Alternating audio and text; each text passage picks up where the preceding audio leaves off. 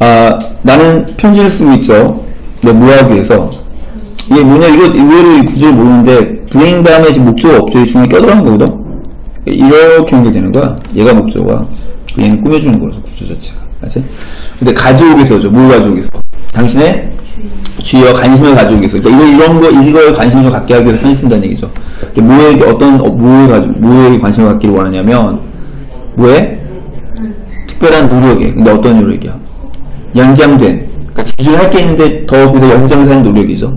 연장된 노력이죠. 이 사람에 의해서 연장된 노력이죠. 근데 그 사람이 어떤 사람이냐면, 네, 일하는 사람이죠. 어디서? 전자제품 부서에서 당신의 가게에. 나의 남편과 나는 처음에 구입했죠?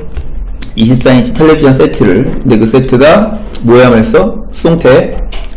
대체 되어야만 했죠. 우리는 노인이고 그리고 쉽게 내 TV를 대- 가져갈 수 없었지 그 가게로.